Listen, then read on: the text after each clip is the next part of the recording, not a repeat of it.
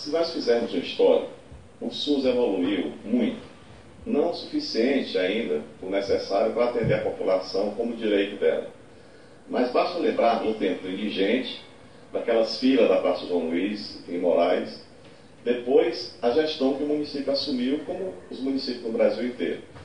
Então, quanto à oferta de serviço, é natural que Teresina, por ser a cidade maior, a capital, tenha uma estrutura e uma rede qualificada e extensa, né? em crescimento constante. E é preciso estar pensando nisso. Os municípios pequenos, ou os médios do interior do Estado, não cabe fazer uma estrutura que nem eles podem sustentar, nem tem necessidade pela demanda de serviço. Portanto, é preciso ter um pacto da cidade de Teresina com os municípios todos do Piauí, a quem nós atendemos aqui, para melhorar esse atendimento de quem mora em Teresina e de quem mora no interior. Já buscamos, já estivemos com o secretário Francisco do Estado, fomos bem recebidos, os encaminhamentos foram feitos e estão em andamento já.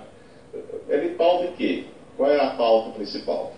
Primeiro, aumentar o acesso da população aos serviços já existentes.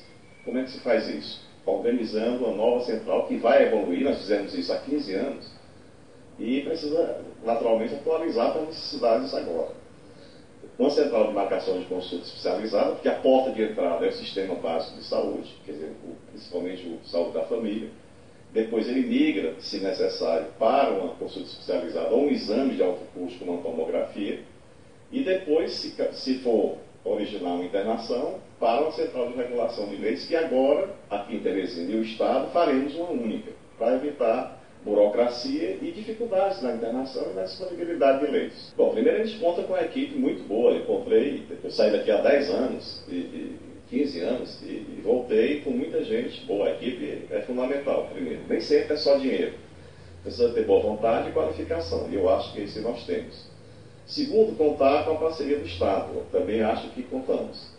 Terceiro, evoluir para um direito da população que lá atrás não tinha nenhum direito.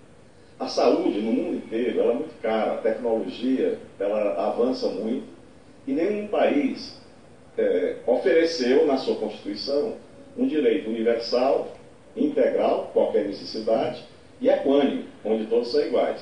Essa, esse é o desafio principal. E aí envolve o governo federal, estaduais e municipais. Voltou, porque sempre esse tipo de comportamento, ele, ele desafia e vai encontrando brechas. É, é, é, é natural isso, é, é, é, compreensível. E, e, eu volto a lembrar a história. Lá atrás, na, na, na Praça João Luiz Ferreira, até a Polícia Federal, que foi chamada várias vezes, na época do governo federal, tinha dificuldade de conter esse tipo de, de problema. Nós não vamos enfrentar, enfrentar ninguém, nós vamos querer fazer o que é correto. Como é que está o correto? Fazer uma central à prova desse tipo de comportamento.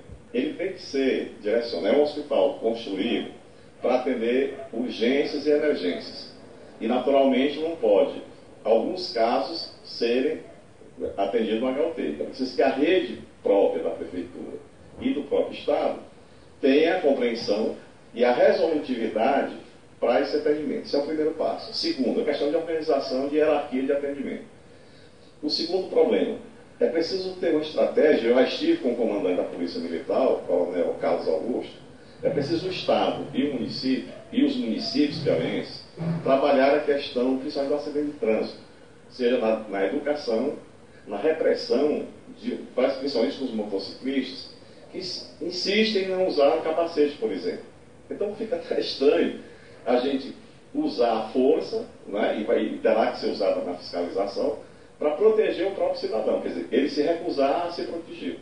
É um negócio, às vezes, não, não se entende muito bem. Nada é único, a gente tem que ter sempre um arco de, de parceiros para poder chegar onde a gente precisa.